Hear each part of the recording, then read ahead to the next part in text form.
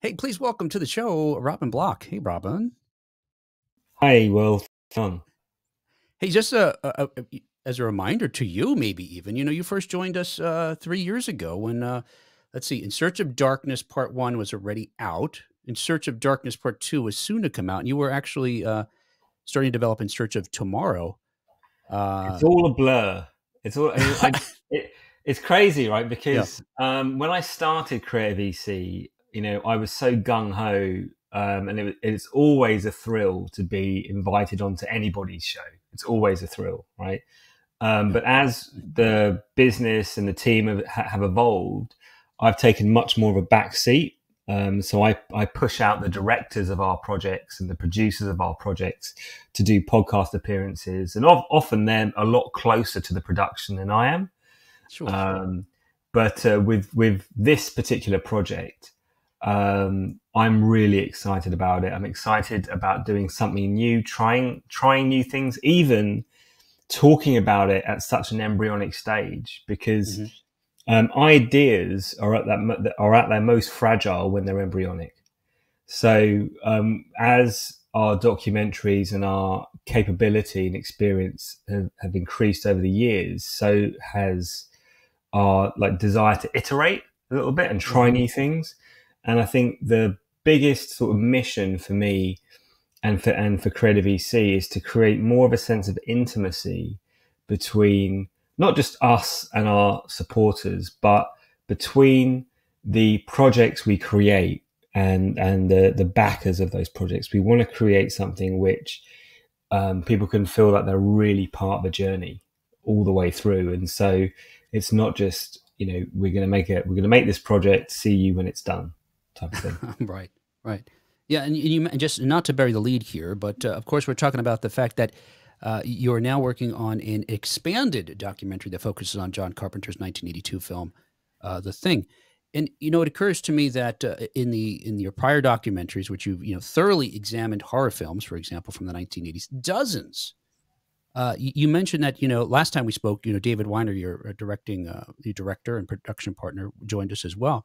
But now you're up front. Do you have a personal connection to this film that uh, makes you more motivated to be out there talking about it? Uh, David's really busy. I think if I give him anything else to do, he might break. right? No, David's currently in production. David's fantastic. I mean, he he sure. um, you know, in Search of Darkness. Um, you know really is his franchise. He's he's made it.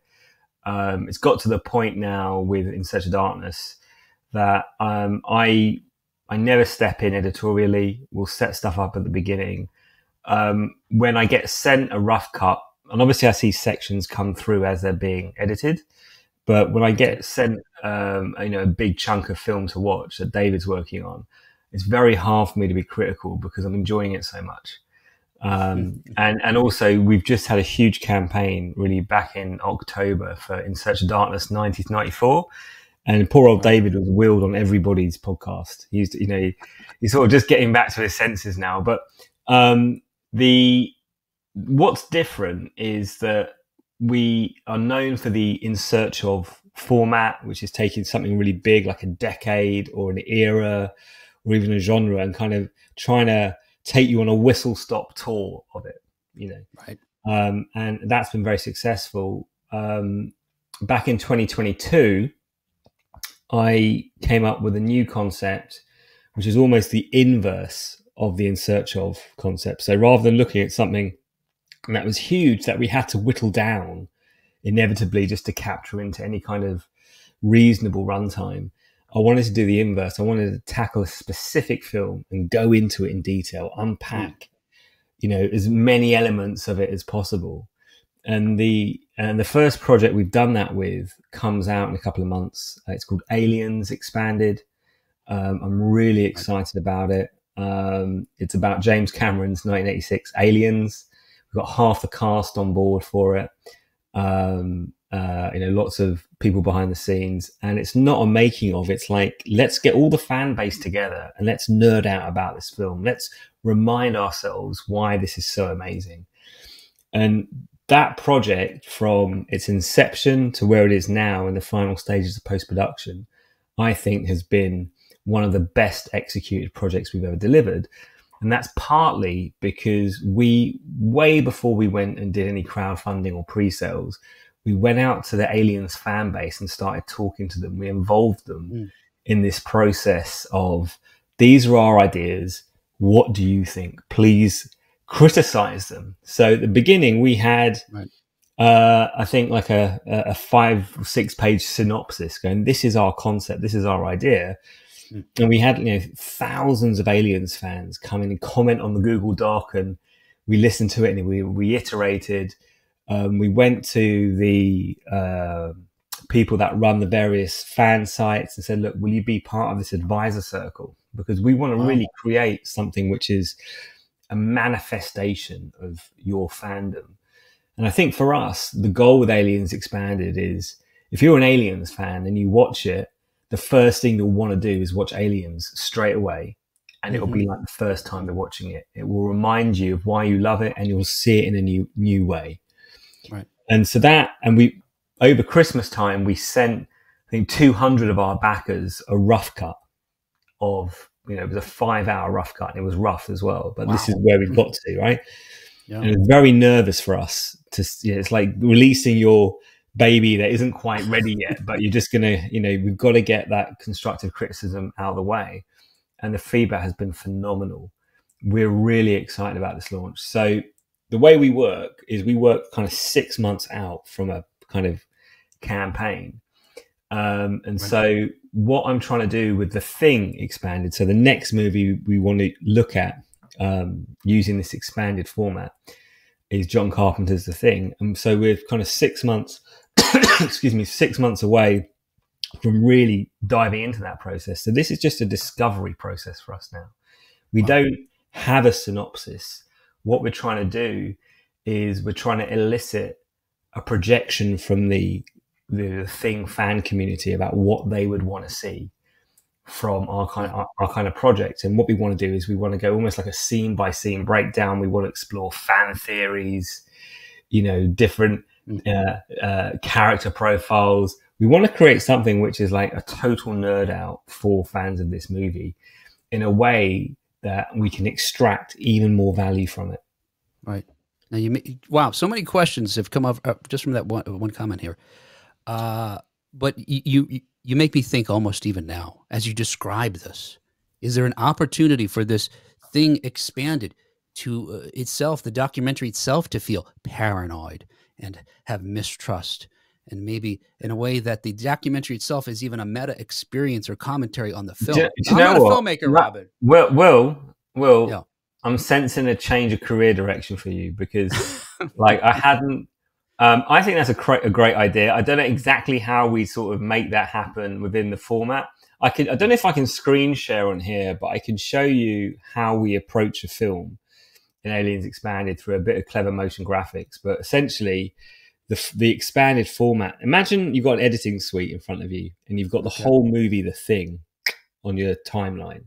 Mm. Now imagine that timeline is three dimensional. So this this flat film is now like a block and it's made up of all these different scenes and it's in a 3D space and then we're the virtual camera and we're flying in picking out a scene going into it deconstructing it going off on different tangents. And so the documentary starts at the beginning where the movie starts and finishes chronologically at the end when the movie ends.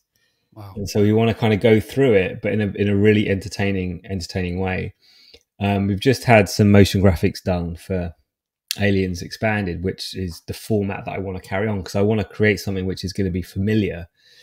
Because um, a lot of Aliens fans love the thing, vice versa. Sure. Um, mm-hmm. But there's nothing off the table, so um, I know where I am with this. Is I know that I want to want, I want it to stick in that format, and I know that I want it to speak to super fans of the thing.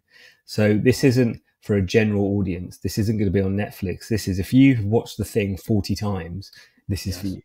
Mm. Right. Yeah. And I want this to be a premium piece of entertainment, but really focus on a narrow audience. And so I've been having conversations with leaders in the kind of thing fan community. And like it's this weird camaraderie.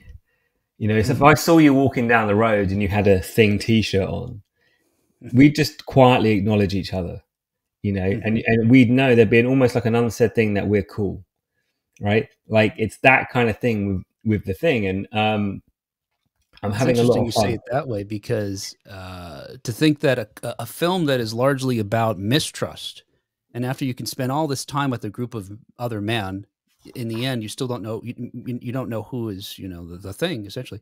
That that type of film would bring other people together. Crazy, isn't it? It's it's that's the thing with horror.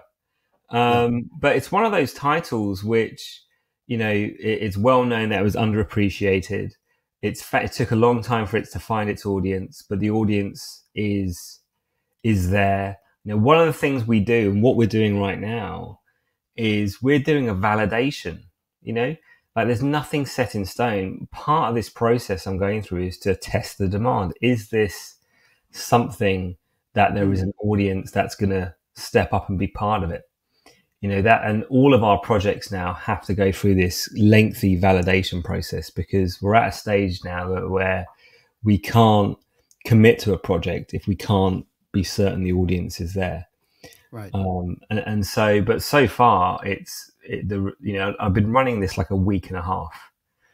Um, it, it's been phenomenal. I'm getting the same kind of vibes that i did when i started in search of darkness hmm. you know and part of my job at CreatorVC is to pick up on the signals and timings and you know and it's it's like in the ether and I've had and I test everything and I kill a lot of projects if I can't projects that I'm close to that I can't kind of see the demand and I'm having the the opposite experience. Not only do I, I love this movie personally, yeah. but everyone's showing up. I'm getting messages daily um, people are commenting on our socials. I think uh, you know just before I came on the show with you, we'd had like 430 survey responses. Wow! Right, and that's off about 15 social media posts.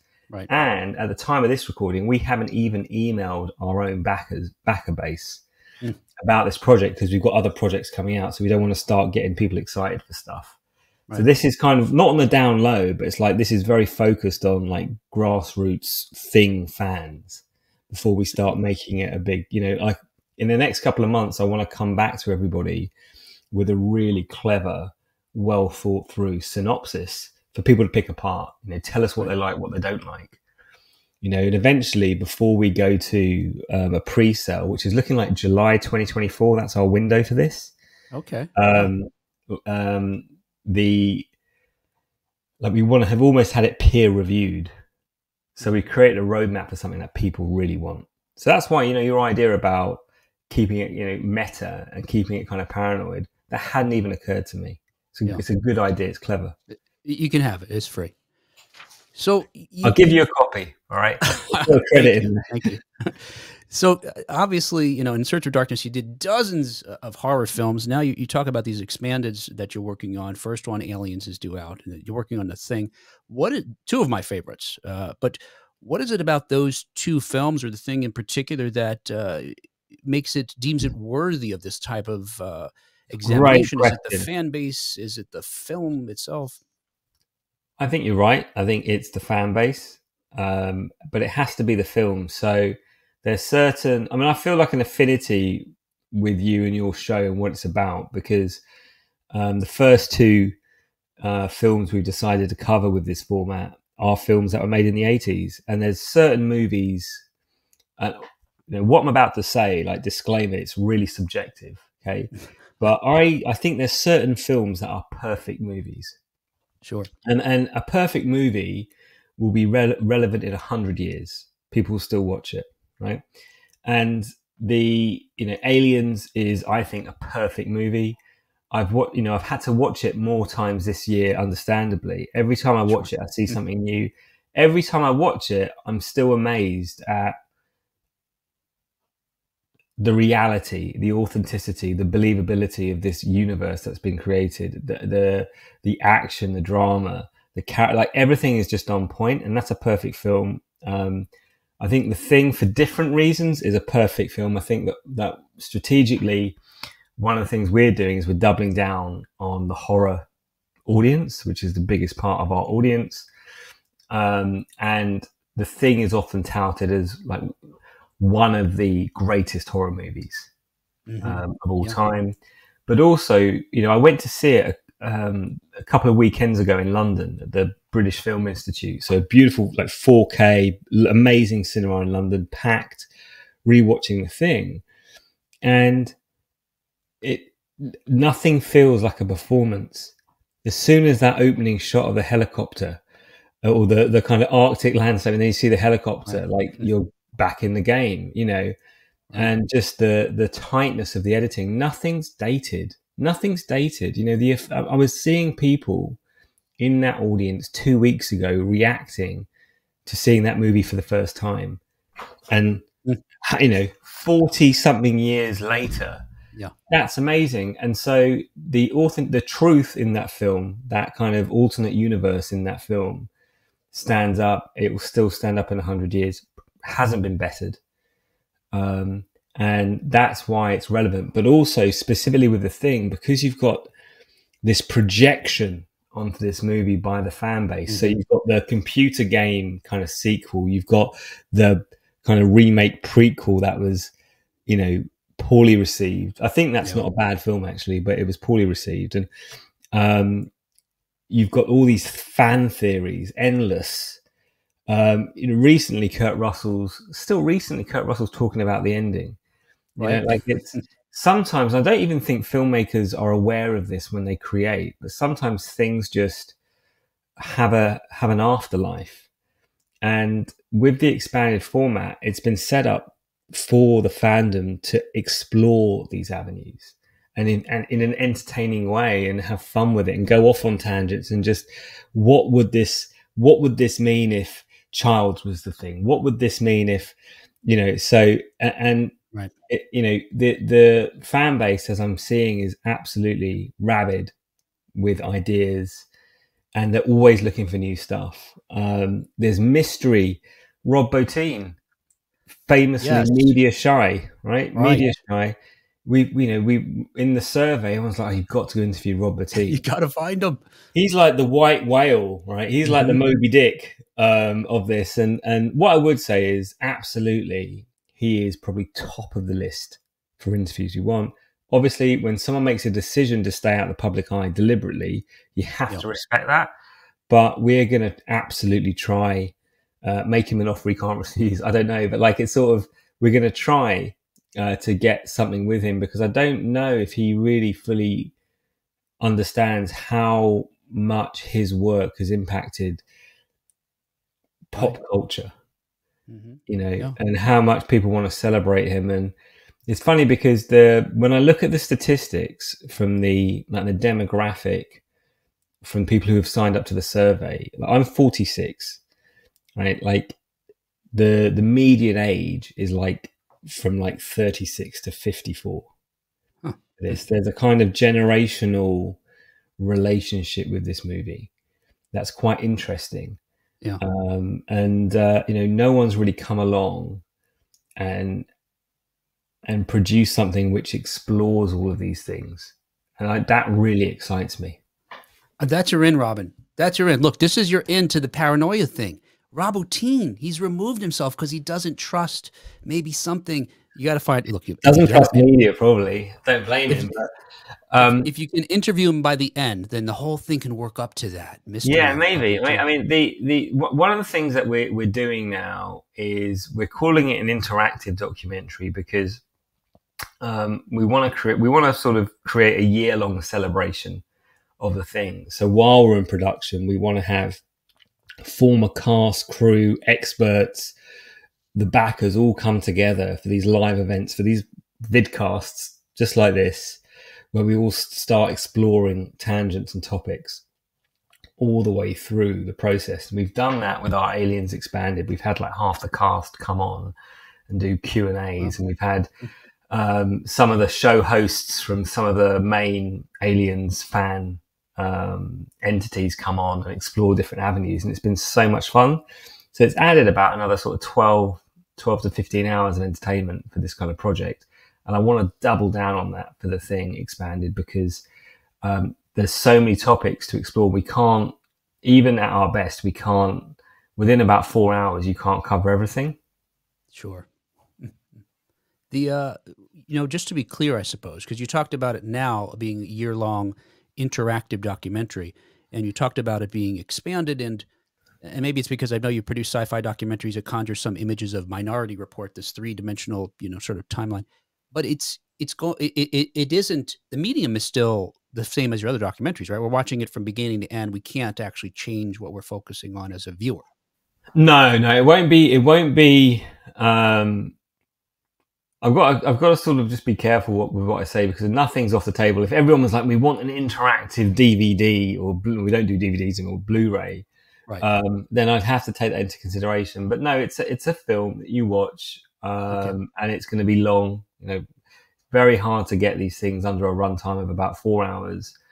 Um, but when I talk about it being interactive, I mean the the, the journey for backers. So our focus isn't really on general distribution. Our focus is on um, creating, you know, creating um, a premium entertainment product, but for a very relatively small audience, you know, five to ten thousand people. Um, but give them something that they just couldn't get anywhere else, and that's our kind of raison d'être. That's kind of what what we're doubling down on. And as part of that we want to be different. We want to be able to say look there's this interest in this subject. Let's get all the experts everyone relevant around this and create this celebration. And at the end it's a bit like in search of darkness. At the end you get like you know the the the, the merchandise your names on it. It means something. You know this is a manifestation of tens of thousands of people's interest in 80s horror it's why when people occasionally put them up on eBay, they go for you know, hundreds of dollars because it's quite rare. And I think what we're trying to do is double down on that. We want to create an experience and a product which, if if you know that signal that you're following, it speaks to you. Anything less, and it's not. That's not what we're interested in. We don't want to dilute this. We, you know, if you've never seen the thing before, you're not going to enjoy our documentary. So you know, it's, you know it, it's that's not the vibe. And I want to double down on that. And I think part of that is actually just things like now, like having this conversation with you, because you know a large majority of your viewers, I assume, will have watched the thing. It's one of the most famous horror movies from the eighties. Um, I suspect you reached out because the thing it's like a it's like the bat signal. You know, yes. it's kind of cool, cool, you know, yes. like Thundercats. You know, like you're looking up and you know um, but uh, but that's what it is. That's what it means to people. And there isn't something out there apart from the Blu-ray releases as a film that have excellent special features. But there isn't anything which has been a premium look at actually. Let's look at this from the fans' perspective. Let's pay fan service to this. Let's go down all these rabbit holes. Let's explore. I mean, what does some of the cast think about its reception 40 years on? Right. Um, you know, for In Search of Darkness, we interviewed John Carpenter, and I did the interview with Keith David, and he loves the fact that it's achieved this kind of cult status. And he had all sorts of stories that we couldn't put in In Search of Darkness because that the thing segment was only three and a half minutes long. So we want to take that and make it, you know, four hours. So, right. yeah, the, you know, we talked about the uh, how folks still theorize about the ending of the film um, and it seems to me that, and as also as you mentioned, it wasn't a hit when it first came out in, in the early 1980s, and, and, there's probably a number of different things that were working against it. Certainly not the quality of the film, but it seems like maybe there was a shift as far as uh, what filmgoers wanted to see. It was competing against E.T., which was a very different type of alien story, and I think we were on that trajectory where we wanted to see more hope in our pop culture uh, coming out of the 1970s and the more auteur sort of era of filmmaking and the Vietnam, you know, how Vietnam affected filmmakers and that sort of thing. But today, with the advent of the internet, there's more conspiracy theories out there about, unfortunately, actual things that it seems like more than ever, this, I imagine this film is popular because of how folks like to find things that are potentially, you know, conspiratorial. And this film just you know sort of is perfect for that type of analysis. absolutely and and it's the way i look at it is how can you get more out of something you love you know and and the reason that these fan communities exist is because it's a way to tap into something you love and further its relevance and i think that when when we get a documentary right, part of that emotion that we're trying to elicit in the viewer is is nostalgia, but it's also to understand something you love in a different way. I'll give an example. Um, I love movies. I watch a lot of movies, um, but I'm no film critic. Um, my wife often has to explain to me what I've just watched because sometimes basic stuff goes over my head. Like we all view the world differently. Um, but Does I she love, say stuff like, "Oh yeah," and you make the documentaries. Yeah, no, she says she's like, well, didn't you understand that that person was the guy that did? Um, no, didn't what? What? And then halfway through the film, she'll tell me, "Oh, that guy's the killer," and I'm like, "How do you know? How, like, what am I missing it?" But um, there's certain film journalists that whenever I hear them on interviews, uh, they're just very gifted at making mm. something mm. that you're familiar with sound even better. So that way, I'm getting more value from it, and I read you know, I'm reading, I'm, you know, I'm reading at the moment this fas- fascinating book about the things, quite famous. I spoke to uh, my new friend Phil Horn. Need to give him a plug. He's just this came out last year. The, the thing, history of a franchise. Like all of this stuff, all it does is it just makes the experience richer. And the, my kind of poorly worded metaphor for this is something along the lines of the same man doesn't step in the same river twice, right? Mm. So I was very young when I first watched the, the thing, probably about nine or ten years old, and it had this visceral, uh-huh. you know, experience for me, and I remember it. But I watched it two weeks ago at the age of forty six, and I had a very different experience. You know, mm. I'm not the same man, and it's not the same river. And I think great art that is great has that um, has that quality to it where you can revisit it throughout your life and see it in new ways. And I think that's why this film endures. And great films have that. I mean, there's other films that I think are perfect films from the 80s. You know, Predator is flawless mm-hmm. still.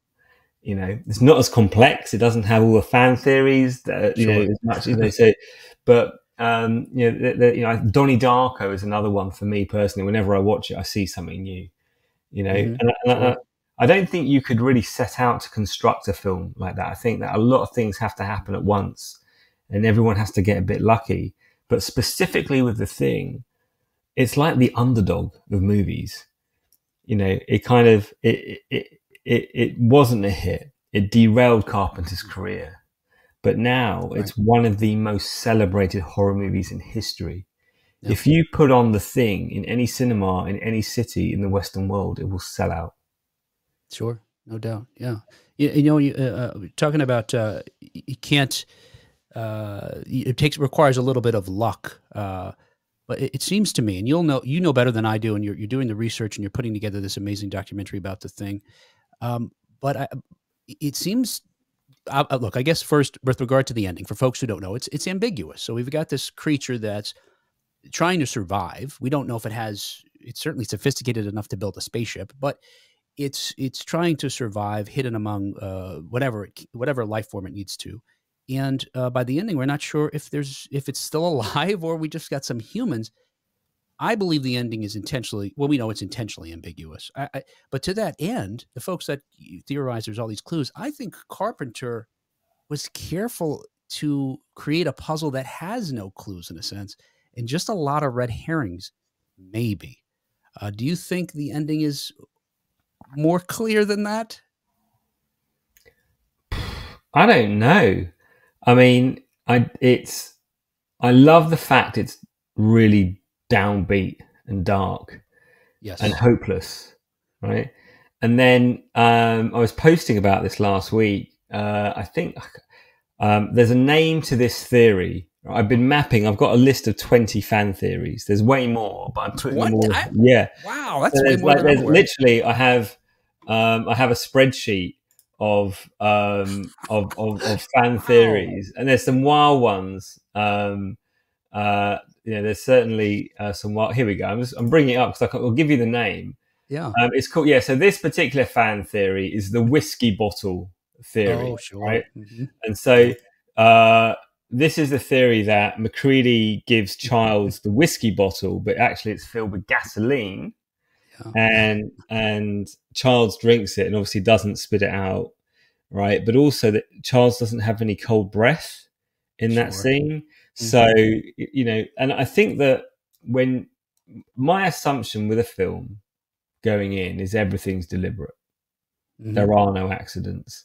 Yeah. Um, I can't remember if John Carpenter, when we interviewed him, told us, but you know, it's it may be a subconscious thing, but uh, you know, there's some really crazy ones on here. I, I, I will, you know, we'll be posting more of these on our social media. There's things like the breath theory, the shadow theory, the eye gleam theory, the clothing theory, the dog handler's keys theory. Just I could carry on. Oh, yeah. Um, mm-hmm. But uh, you know, I love the fact that someone somewhere has gone frame by frame and gone right. This is what I think. I'm going to go and post that somewhere, and then someone else has read it and gone, oh, what about this? I mean, it happened today in the comments one of the things we're doing is we're doing this survey that's really simple. It's got about four questions on it.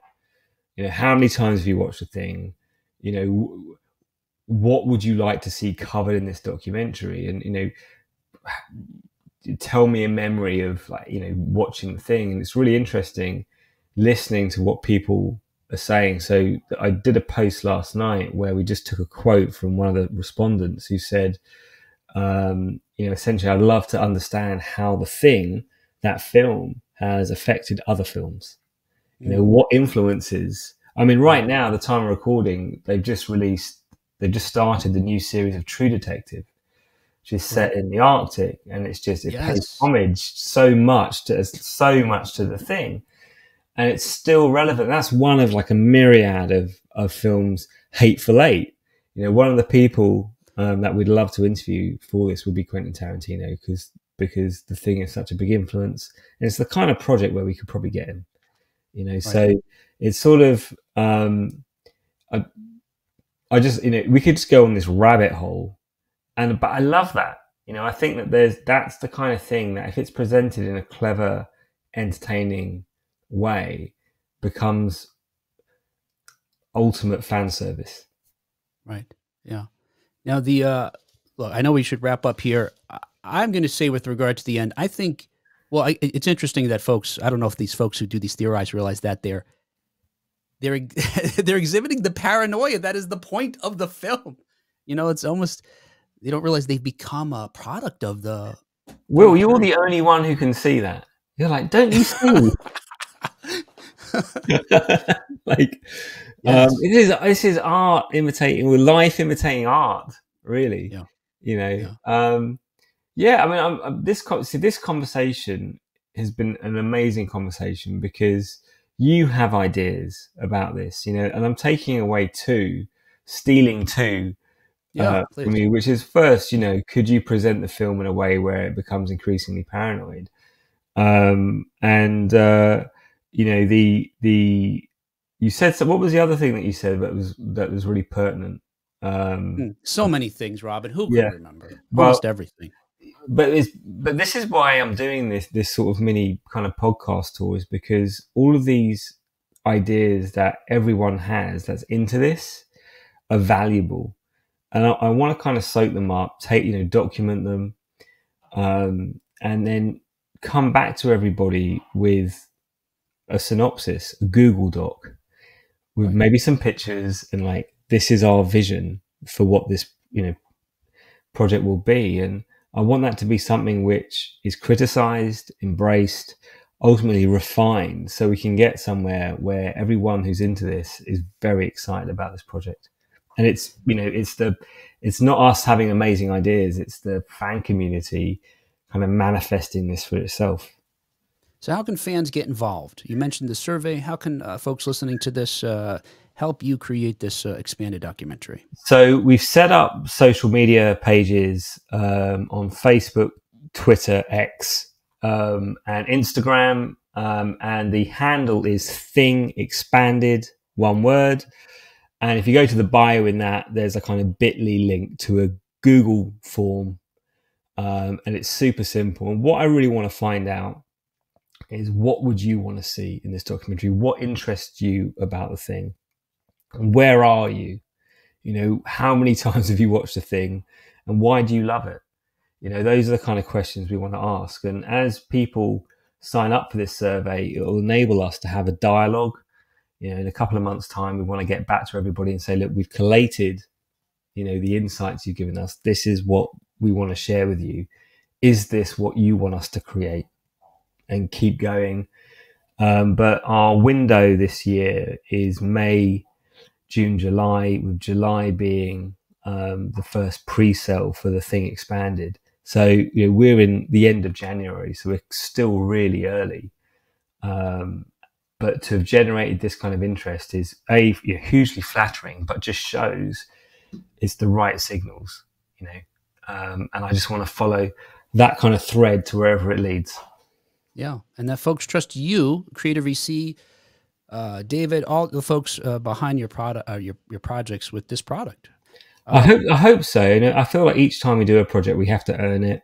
Um, you know, we're very grateful to get what we you know to to be able to do this work. Um, but you know, we we have to take risks. We have to get better. Even doing this, you know, I don't have an exact. I can't tell you exactly what we're going to cover because it's still being formed. But I think that's hmm. part of the beauty of getting involved. Right.